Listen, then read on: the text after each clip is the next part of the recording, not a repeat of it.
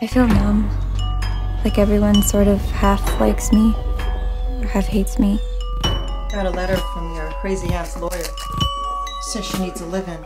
There are days I'd pay the devil himself to get me out of here. Aunt Dora?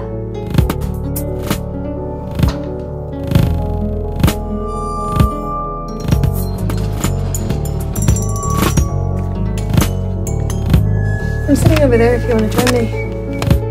I saw you staring at me the other day.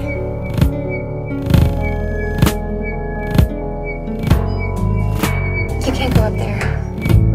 She doesn't like having people in the house. You look cute. Beth, she's not like the girls back home. Your life is so Jane Eyre-ish. Live with the mad woman in the attic.